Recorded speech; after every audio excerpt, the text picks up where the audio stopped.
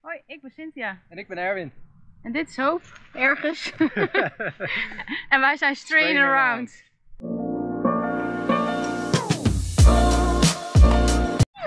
Hey, leuk dat je weer kijkt naar een nieuwe vlog.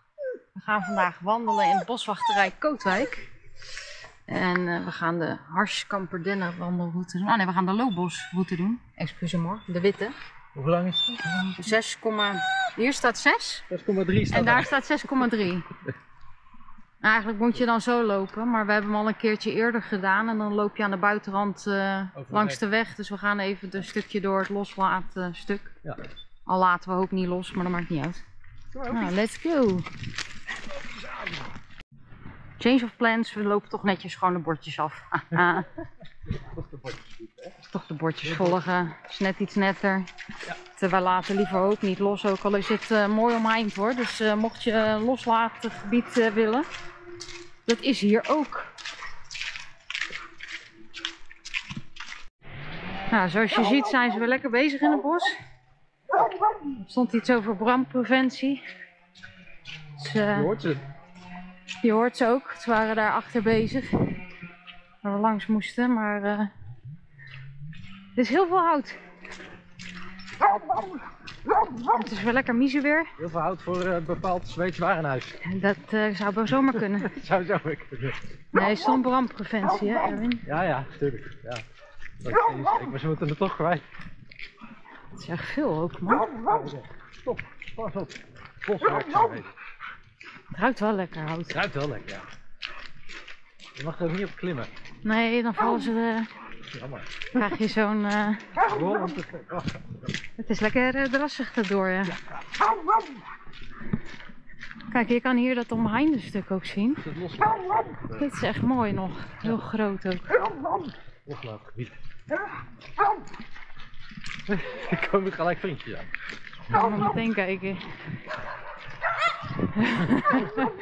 Hoop krijgen antwoord. Hoop, we gaan de andere kant op, schat. Hier, paaltjes volgen. Het is alleen eh, lekker, eh, lekker pad dit. Ik weet niet hoe ver we dit hebben. Anders ga ik lekker daar lopen. Kan meneer.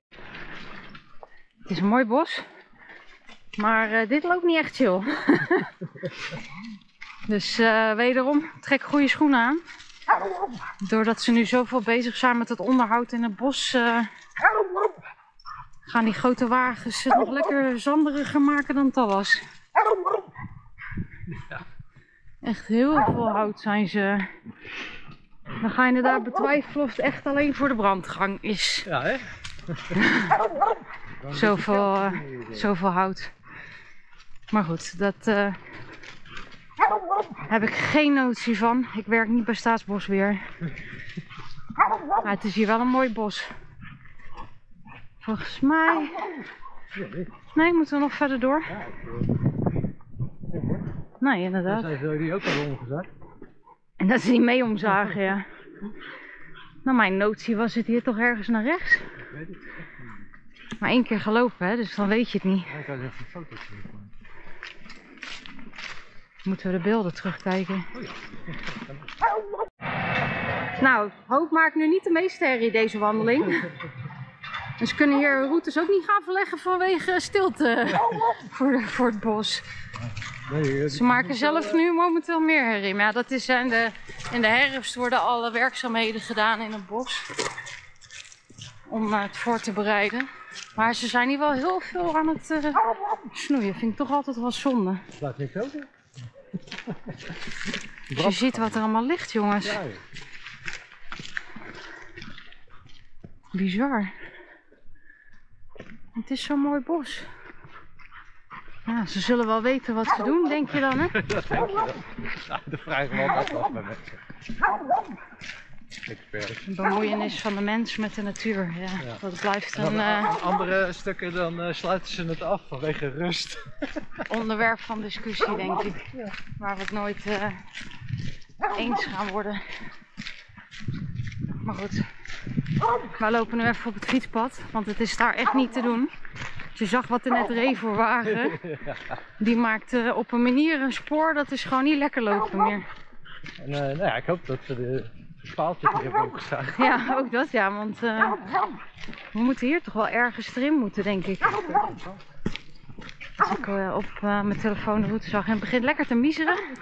En eh Erwin wou niet de paraplu meenemen uit de Michel neem je auto. geen paraplu mee. Ja, jongens, geen paaltje. Geen paaltje hoor, nergens. Oh god. Volgens mij hebben we vorige keer de gele gelopen, maar ja, de gele loopt gele hetzelfde. Nee, geen paaltjes meer. Leuk dit. Paaltjes, route zonder paaltjes. Op avontuur in Kootwijk. Ja, dan pakken we het zelf wel. Maken we zelf Dan maken we zelf een rondje. Als we het echt niet kunnen vinden. Hoop vermaakt zich toch wel.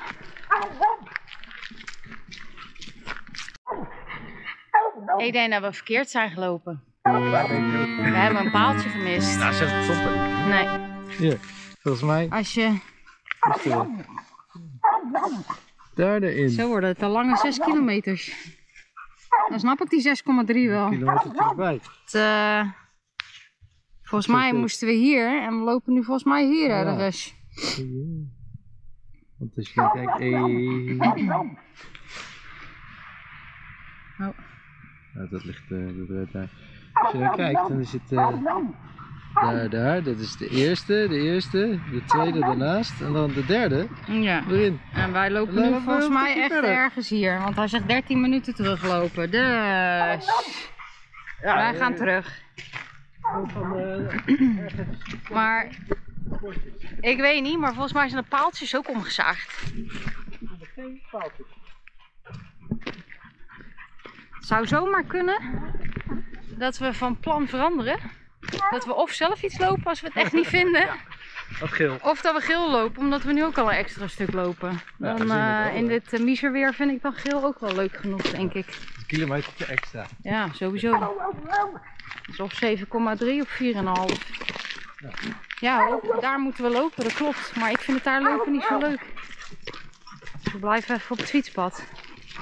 Nou, goed uitkijken naar de paaltjes. Ik ben benieuwd of we hem kunnen Als vinden. we er zijn wel. Dat is Ik eh, snap er even niks van. Maar dit is eh Staatsbosbeheer niet goed bewijzerd. Vorige keer eh, hebben we volgens mij geen moeite gehad om een paaltje te vinden. Dus ik snap er nu echt helemaal niks van. Dat we er voorbij zijn gelopen. Toch? Vorige keer zijn we er niet verkeerd gelopen. ik heb geen idee. Dat is al te lang geleden. Nou, anywho, Eh, Het is in ieder geval een mooie je, je hoort later van ons. Op zoek naar het witte en gele paaltje. Die zou hier ergens moeten staan. Maar ik zie alleen maar een paardenpaaltje. En ondertussen hebben we al 2, nog wat kilometer gelopen. Ja, maar hier zitten we weer bij dat loslaatstuk. Ja, maar dit is het loslaatveld. Dat is toch te dichtbij?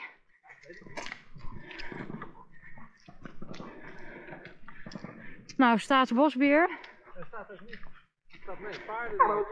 Al sla je me dood.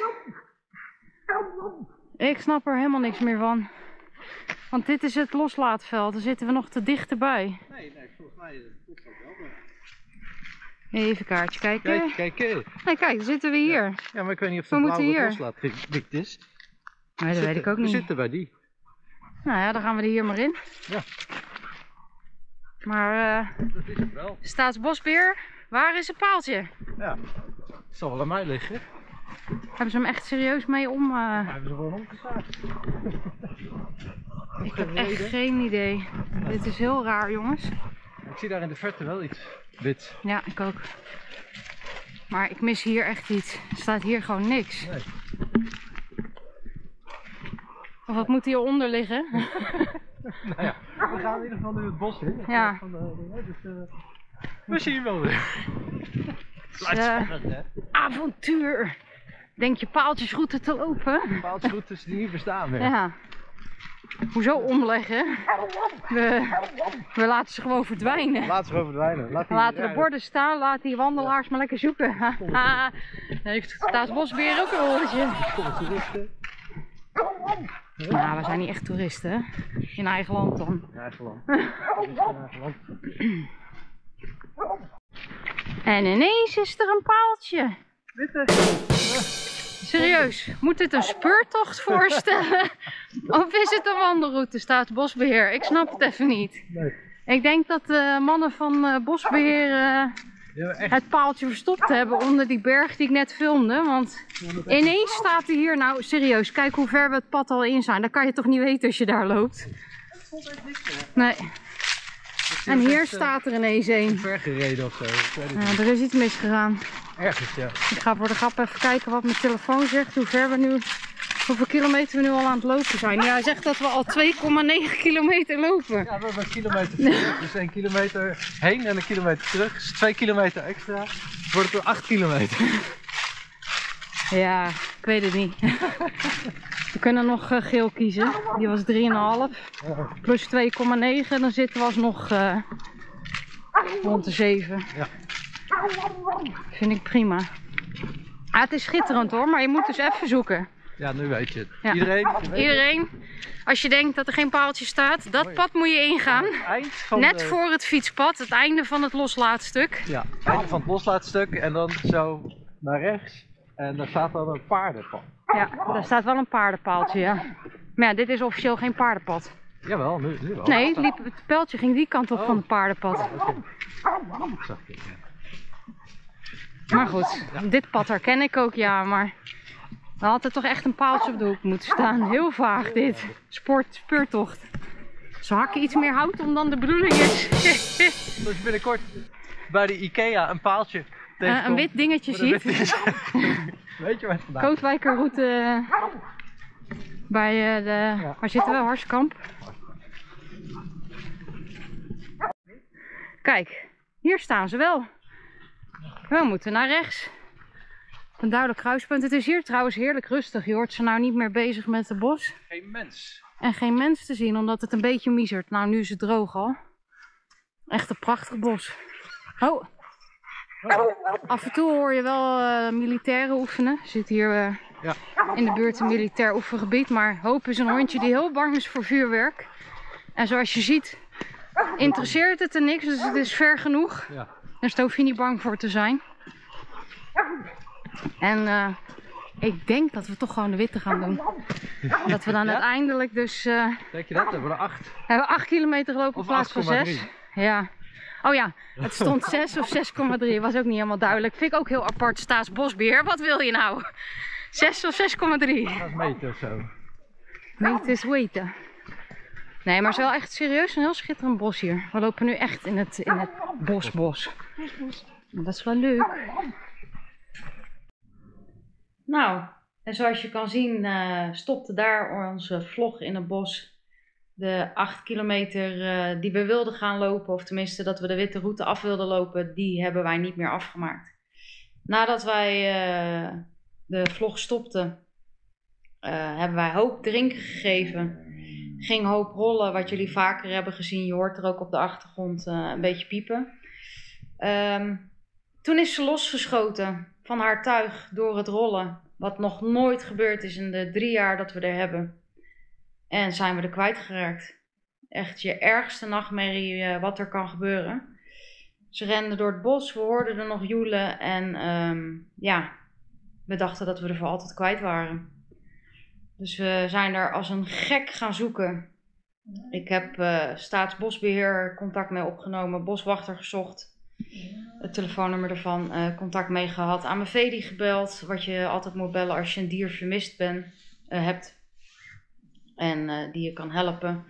Dierenambulance gebeld. Mensen in het bos die daar aan het werk waren, wat je op de achtergrond af en toe hoorde, die hebben we ook aangesproken. Mensen die daar aan het wandelen waren, hebben we aangesproken. En op een gegeven moment begon te schemeren. Dus we raakten al in paniek dat we in het donker moesten gaan zo- zoeken. En toen eh, liepen we naar de parkeerplaats, maar daar was heel veel herrie. Dus we dachten al, daar gaat ze niet terug naartoe. Toen zijn we de route weer gaan lopen, want we wisten nu hoe we moesten lopen. En eh, op een gegeven moment eh, kijk ik een zijpad in. En we roepen en we roepen. En ik zie op dat zijpad zie ik hoop op een heuvel staan. Lichtelijk apathisch. En ehm, ja, sorry hoor, dit is vrij emotioneel weer. En ehm, bij de roepen op onze hurk gaan zitten. Dat, eh, ik had ondertussen nog de vrouw van de dierenambulance eh, aan de telefoon waarmee ik het verhaal wilde doen. En ehm, ze kwam eh, uiteindelijk heel sloom aangelopen. Wij dachten van mega rennen wat ze daar had gedaan, een uur lang. En we lijnen eraan, dubbele zekering met nog de autogordel die we nog uit de auto hadden gehaald. Knopen erin gelegd van alles, want je bent meteen bang dat ze weer losschiet. En uh, iedereen weer opgebeld dat we er gevonden hadden, dat ze niet mee hoefden te zoeken. En we gingen terug naar de auto lopen. En terugkomen, uh, of lopend naar de auto, zien we een enorme wond bij de oksel. Dus onze dierenarts gebeld of we echt met spoed langs konden komen. Maar ja, wij moesten dus nog een heel stuk rijden. En nog twee kilometer of zo lopen naar de auto terug voordat we daarheen konden. En in de auto ben ik achterin bij haar gaan zitten om er rustig te krijgen en dat ze van die poot afbleef. En ik zie een mega grote wond bij haar buik. Dus ik schrok me rot. Weer de dierenarts gebeld of we wel naar hun moesten komen of niet uh, spoed iets moesten gaan zoeken in Kootwijk. Nee, uh, kwam maar naar ons. Ze was nog alert, ze was nog bij, ze bloedde niet uh, enorm. Uiteindelijk heeft ze daar bij de dierenarts anderhalf uur op de operatietafel gelegen. Hebben ze de uh, wonden gehecht, drains erin geplaatst. waren hele diepe, vieze wonden. Gelukkig intern niks beschadigd. Ze had een vergrote mild, maar daar hebben ze een echo van gemaakt. Dat kon ook zijn van de narcose of van bloedverlies of van trauma, stress, wat ze heeft gehad in het bos. En ja, wat er exact gebeurd is, wij hebben geen flauw idee. Um, ze hebben geen bijtsporen gezien. Wij dachten natuurlijk de wildste dingen van een zwijn of een uh, wolf die daar ook zit. Maar de kans is groot dat ze uh, zich beschadigd heeft aan een uh, boomstronk, stam, tak. Waar ze waarschijnlijk overheen heeft willen springen of iets dergelijks. En achter is blijven hangen. En zichzelf dus op twee plekken enorm open heeft gehaald. Want het is ook aan één kant van haar lichaam. En uh, dus met uh, een hond met een kap, met uh, grote hechtingen, wonden met hechtingen erin en twee drains, dus waar continu bloed uitkwam.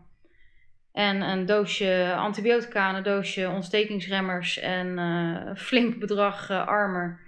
Gingen we naar huis en waren we compleet aangeslagen van wat er nou eigenlijk allemaal gebeurd was. En um, ja, zo gingen we de rest van de week door. Het was dinsdag gebeurd. En op vrijdagavond proberen we er een plas te laten doen buiten. En uh, ja, heel raar. Ze piepte al een beetje hard voor de deur. En ze liep een beetje mank. Wij dachten, nou, die heeft zich verstapt. Want ze belast de goede poot wat meer dan de uh, geopereerde poot. Want het is vlak bij de oksel. Geen uh, alarmbellen ze krijgt pijnstilling en uh, ontstekingsremmers en antibiotica. Dus het zal wel goed komen. Het zal wel verstapping zijn. Nou, wij sliepen die nachten sliepen we al bijna niet. Ik weet niet of je het kan zien, maar ik ben behoorlijk witjes. Sorry. En uh, ja, dus die nacht was nog erger. Ze lag aan het einde van de nacht, om een uurtje of vijf, zes, lag ze te shaken van de pijn. Ze wilde niet meer eten. We kregen dus geen pijnstilling erin. En ja, toen gingen alle alarmbellen af, want Hoop wil altijd eten. Zelfs na de operatie, drie, vier uur daarna, wilde ze een beetje eten. Dus wij de spoedkliniek gebeld, was zaterdag. Want dus onze eigen dierenarts had ook geen dienst, maar het was ook s ochtends zes uur überhaupt. Maar het was ook dus weekend.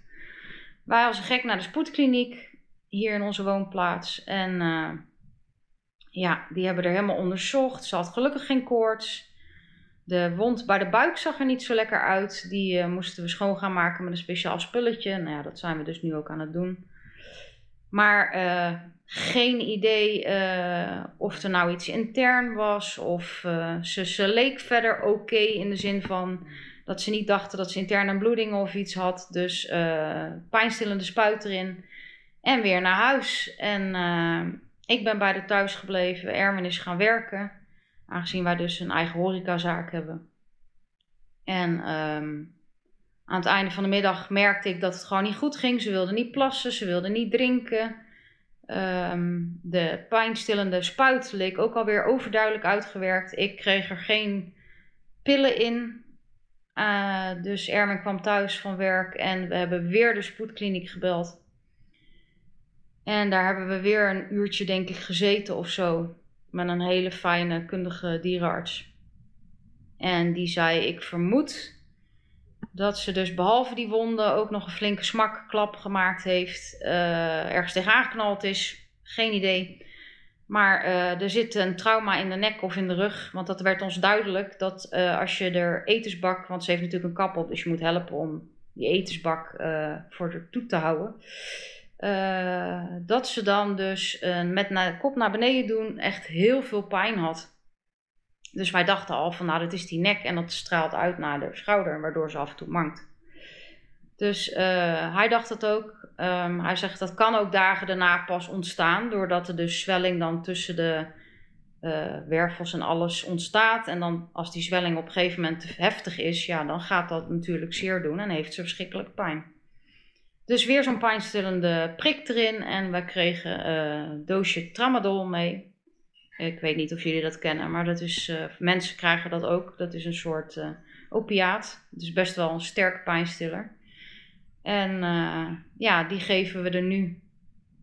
En het gaat gelukkig iets beter. Ze, we hebben na natvoer gekocht, want die avond kregen we dus de tramadol er ook niet in. Want brokken kauwen doet dus waarschijnlijk zeer in die nekspieren. Want ja, als je koudt dan beweeg je je kaken en dus ook je nekspieren. Dus wij kregen er weer niks in, dus zondagochtend ook niet. Dus ja, toen eh, zijn we als een gek, uh, zodra de supermarkt open was, maar een beetje fatsoenlijk, uh, natuurlijk nat voorgevonden, gelukkig. niet de erge rotzooi, maar gewoon vlees, groente, aarde, bruine rijst zit er geloof ik in. En dat wilden ze gelukkig eten, dus toen kregen we alle pillen erin. En die middag merkte ik ook dat het tramadol wat ging werken, dus ja, dus daar uh, staan we nu. En uh, van de week moeten we nog terug voor controle voor de nek naar onze eigen dierenarts. En uh, de wond laten kijken, want er blijft wat wondvocht uitkomen uh, bij de buik, die, waar de drain heeft uit is gehaald afgelopen vrijdag. Die plek wil maar niet dicht en daar blijft vocht uitkomen. Nou kan dat gelukkig geen kwaad als dat helder bloedvocht is. Want dat moet eruit, want anders krijgen ze een enorme dikke buik. Dus ja, dat, uh, en ze heeft ontstekingsremmer dus en antibiotica. Dus dat, uh, zolang wij dat goed schoonhouden met een moes die wij van het dierenziekenhuis hebben gehad, gaat dat wel goed. En dan gaan we kijken hoe het met de nek gaat. Dus ja, voorlopig uh, worden het even, denk ik, geen wandelvlogs. Ben ik bang. Maar goed, we hebben er nog. Daar zijn we echt enorm dankbaar voor. Want wij waren echt bang dat we er kwijt waren voor altijd. En uh, ik zal jullie even laten zien hoe hoop er nu bij ligt. En uh, ja, een hoopje ellende een beetje. Maar goed, het gaat langzaamaan beter, hè meisje? Ja, ze vindt het natvoer gelukkig heerlijk en de pijnstilling helpt wat. Dus uh, komt hopelijk allemaal wel weer goed. Maar wij zijn flink geschrokken, dat, uh, dat snap je natuurlijk wel. Dus ja, de wandeling hebben we niet afgemaakt. Het zal een hele mooie wandeling zijn geweest. Uh, lopen hem een keertje. Ik denk dat wij niet meer teruggaan naar dat bos. Dat heeft voor ons zo'n trauma nu uh, opgeleverd. Wij gaan kijken, uh, als Hoop weer helemaal opgeknapt is, hoe wij het veiligste met haar uh, uit kunnen gaan. Dat wordt waarschijnlijk een dubbele zekering en nog slotjes erop of weet ik het wat. Dat moeten we zien. Maar uh, ja, dit was hem voor de Kootwijk-vlog in ieder geval, jongens. Uh, het liep anders dan uh, de bedoeling was, helaas. En ik hoop tot de volgende vlog. Doei!